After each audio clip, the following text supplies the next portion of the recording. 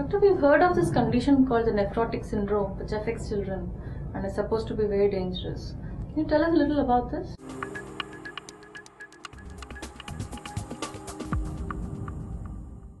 Right.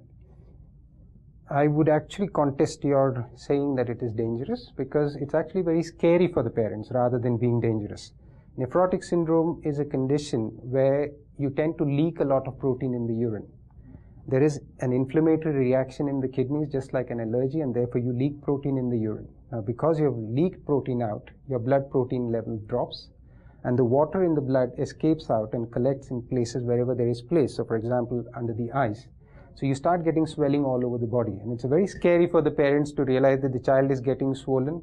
It's often missed because the child starts with a very minimal swelling under the eyes, and it's often presumed that the child has an allergy, but it's actually a leak of protein, and then gradually, as the swelling increases, they see a doctor, and this condition is diagnosed.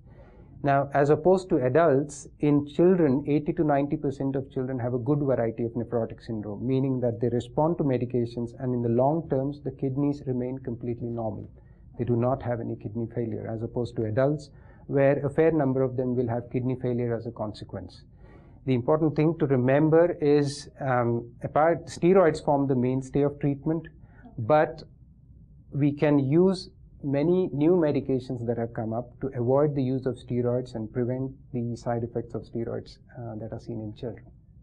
So basically, steroids affect the growth, I guess. Yes, yes. So um, if uh, occasional use is fine, but if uh, children are relapsing frequently in nephrotic syndrome, there are many other good medications that can be used to prevent these relapses so that you don't use steroids so often. For more such information related to your health, log on to health.india.com.